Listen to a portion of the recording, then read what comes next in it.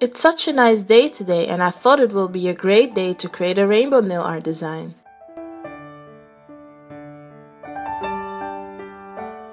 I made a rainbow nail art design before but I decided to create a second version.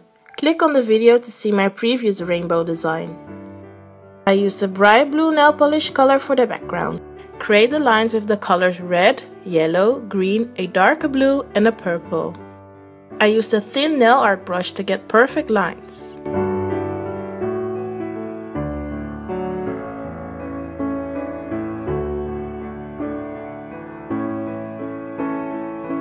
Create two clouds with a white nail polish color and a dotting tool.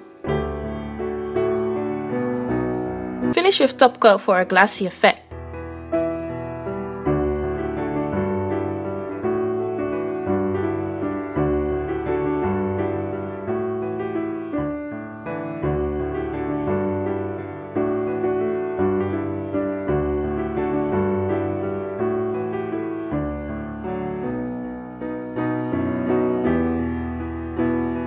And don't forget to follow me on Twitter, Instagram, Facebook, or my blog called qtplace.com for daily updates.